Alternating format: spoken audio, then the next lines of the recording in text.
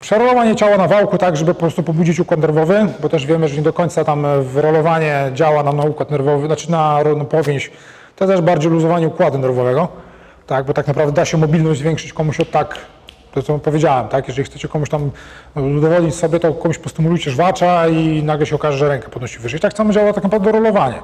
Nie? Jeżeli kogoś zrolujecie, no to rękę podniesie wyżej, spoko, tylko to za chwilę do niego wróci, tak, 15-20 minut, on zazwyczaj już tą rękę będzie miał w takim samym punkcie.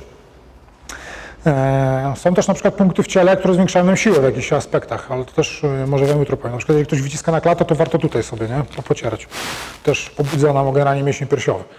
Tak, to są takie rzeczy, które ja Wam mówię z neurologii, bardziej ciekawostkę, ale ja uważam, że warto się tym zainteresować, nie? bo czasami zamiast komuś, nie wiem, przykładowo wyłączać pośladki na zasadzie takim czymś, że wiecie, chodzi z taśmą powerband, czasami nie ma czasu po prostu na to, bo trening jest za krótki, to może warto komuś y, ten, tak, tu podstymulować i nagle się okaże, że pośladki są włączone.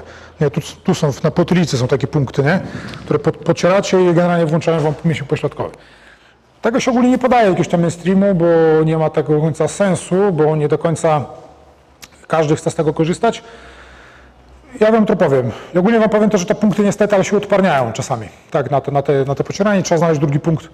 Jeżeli chcecie na przykład sobie bardziej to zgłębić, o tak gadam, gadam, gadam, żeby was nie zostawić z tym bez niczego, to sobie kupcie bańki chińskie, poważnie mówię, i tam zazwyczaj do nich są dołączone takie y, punkty akupunkturowe.